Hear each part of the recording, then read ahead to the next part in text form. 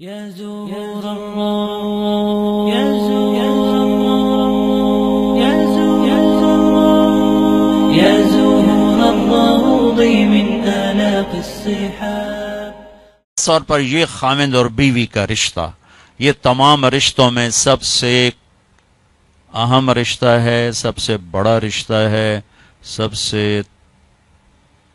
बुनियादी रिश्ता है पहला रिश्ता जो अल्लाह ताला ने इस कायनात में कायम किया, वो आदम और हवा मियाँ बीवी मियाँ बीवी का। पहला रिश्ता मियाँ बीवी का है, और जन्नत में भी रिश्ता मियाँ बीवी का ही रहेगा। हर आदमी अपनी बीवी के साथ, हर बीवी अपने खामिद के साथ पूरी जन्नत में अलग अलग रहेंगे। और इब्तदाए रिश्ता इंसानियत हुई है खामिद और बीवी के साथ। आदम इस्लाम को पहले पैदा किया। एक पैगाम दिया कि कायनात का निज़ाम मर्द के गिर्द घूमेगा, औरत के गिर्द नहीं, मर्द अर्रजाल कवामून आला निसा का मतलब है कि कायनाती निज़ाम अल्लाह ने मर्दों के सुपुर्द किया है, इसको चलाएँगे, ये चल, औरत उसकी मुआवन बनेगी, मददगार बनेगी। इसलिए आदम इस्लाम को पहले वजूद बख्श। उनका पुतला बनाया, वो पड़ा रहा, वो खुश्क हो गया, फिर उसमें रूह डाली, फिर उनको कपड़े पहनाए, फिर उनको जन्नत में डाला। अल्लाह ने इसी तरह हवा का पुतला भी बना देना था। साथ ही एक गारे की ढेरी बना देते तो हवा का पुतला भी। अब ख्याल फरमाएँ कि अल्लाह ने औरत को पहले दिन से बेपर्द नहीं रखा। पहले दिन से बेपर्द नहीं रखा। अल्लाह ताला के एक एक ढेरी साथ हवा की बनाते तो वो क्या मसला था? फरिश्ते ही हैं और तो कोई है नहीं। और अल्लाह ताला एक ढेरी बना के चल भाई, आदम बन के बन गए चल भाई हूँ हवा भी बना दो भी बन जाती दोनों ही पड़े होते। नहीं, ऐसा नहीं किया। है हवा की ढेरी नहीं बनाई। हवा के पुतले को बेपर्द नहीं रखा। आदम को सुलाया। आँख खुली तो पहलू में हवा को बिठाया हुआ था। पूरे लिबास, पूरी जेब जीनत के साथ। तो आदम इस्लाम कहने लगे, ये कौन है? का ये तेरी बीवी है, तेरी ज़िंदगी की साथी। और अजब बात बता जन्नत जैसी नेमत के बावजूद आदम इस्लाम जन्नत में उदास रहते थे। माँ जी आई तो ता का दिल लगा। नहीं तो जन्नत में भी उदास रहते थे। तो अल्लाह ताला ने निकाह पढ़ाया। तो अल्लाह ताला ने कहा, आदम, बेगम का महर अदा करो। तो ये महर पहले दिन से महर क्या चीज़ है? किसी की बेटी की कीमत नहीं। वो जो मालदार घरानी की बच्ची हो या किसी झोपड़े की बच्ची हो, महर किसी की बेटी की कीमत नहीं होता।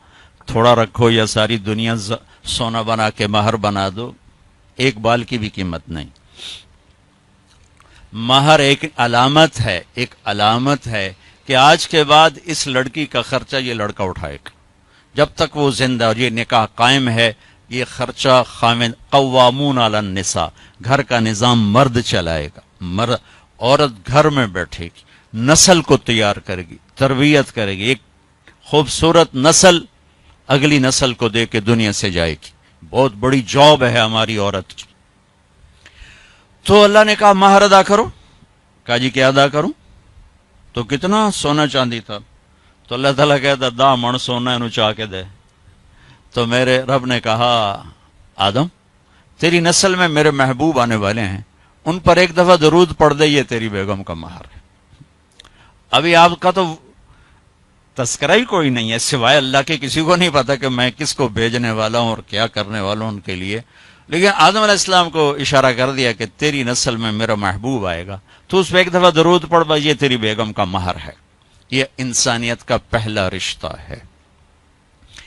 वालदेन के हकूक के लिए चंद आयात, औलाद के हकूक के लिए चंद आयात बहन भाइयों के हकूक के लिए चंद आयात हैं। खामिन बीवी के लिए सैकड़ों आयात। पूरी सूरत उतरी है, सूरह तलाक। पूरी सूरत सूरह निसा, सूरह तलाक, सूरह मायदा में, सूरह बकरा में, सूरह आल इमरान में। अल्लाह ने सैकड़ों आयात उतारी कि ये रिश्ता बाकी रहे, क्योंकि इसमें कमज़ोरी है। अहमियत के बावजूद, इसमें एक कमज़ोरी है कि एक बोल पे टूट जाता है। बाकी रिश्ता टूटता नहीं। मैं अपनी माँ का फर्मा बरदार हूँ या नाफरमान हूँ?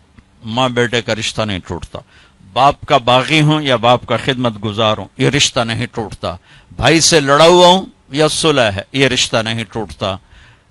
लेकिन खामिद और बीवी का रिश्ता एक बोल पे टूट जाता। मेरे नबी ने फरमाया, अली तलाक से बचना। जब तलाक दी जाती है तो अल्लाह का अर्श काँप उठता है। अल्लाह का अर्श काँप उठता है। जब बेजा तलाक दी जाती ज़रूरत के तहत तो तलाक रखी गई, लेकिन जैसे आजकल की तलाकें हो रही तो अल्लाह का अर्श काँप उठता अरे मैं इस्लामाबाद से आ रहा हूँ तो वहाँ एक बच्ची मिली मुझे, कहा कि मुझे तलाक हो गई कि ससुराल वालों का तेरे अब गड्डी तो दीती को नहीं चल वापस? और खुद वो डॉक्टर है जी, तलाक हो गई। तो इस तरह जब जुल्म सितम होता है तो फिर अल्लाह का अर्श काँप उठता है। तो ये रिश्ता कैसे गुजारना है कि ज़िंदगी खूबसूरत हो जाए? क्योंकि मेरी बात सुन ले, गौर से आप मालदार लोग बैठे हैं। पैसे से आप ज़िंदगी को खूबसूरत नहीं बना सकते। घर खूबसूरत बना सकते हैं, गाड़ी खूबसूरत ले सकते हैं, जेवर खूबसूरत खरीद सकते हैं।